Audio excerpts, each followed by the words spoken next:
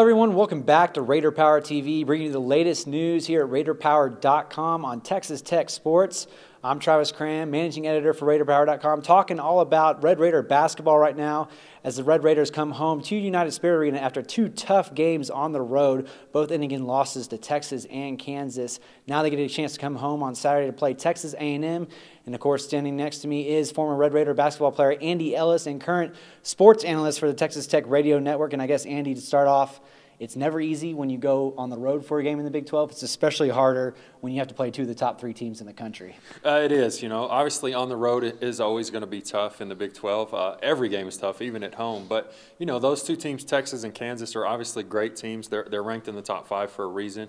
Uh, they're really strong inside. They've got a few shooters and some good guards, and so you know those teams are good. I think those two are at the top of the Big 12, and then everybody else. You notice everybody has at least four losses. They're all kind of muddled in there together, and so you know, it, once you get those games out of the way, Tech's schedule has to get easier. I mean, they're done with those two teams. So I think that's a positive. I thought the second half of that Texas game, uh, we saw the Tech team play kind of the way we would expect them to see, like to see them play with a lot of energy, doing things. I know people are saying that, you know, Texas was lazy because they had a big lead, but, you know, from being at the game and watching the game, Texas was trying hard. Their coaches were onto them. I mean, they were trying to get things done, and Tech was just playing pretty good basketball in the second half. So I think that's encouraging. I think if they can continue that, you've got a chance to win some games here in the, in the last part of conference. You talk about that Texas game because you notice that in the second half, they kind of notched down to what six or seven points there in the second half.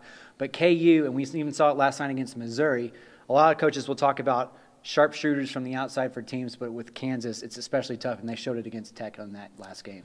Yeah, they did. Uh, Kansas is just tough. I mean, they play inside and out. They've got the shooters. I know Selby's hurt now, but obviously he played pretty well against Tech. And then, you know, Morningstar, those guys are shooting the ball really well. And, and then the Morris twins, I mean, what can you say about them? They're they're big. They know what their role is on the team, and they're athletic, and they get it done. And so, you know, that was a tough game for Tech. I think. I really think that game helped Tech in the Texas game of, of just getting you a little prepared. I know Tech didn't come out very well against Texas, but I thought they settled in and at halftime made some adjustments and played much better.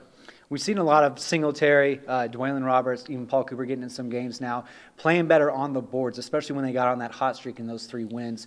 What do you think they need to focus on now heading into this game against the Aggies? Well, you obviously have to be able to hit the boards against the Aggies. I mean, that's a lot of their offense. They, they can't score the ball very well, so they're just throwing it up on the glass and going to get it. So you've obviously got to rebound well. That's something in the Big 12 that you have to do a lot of the time anyway.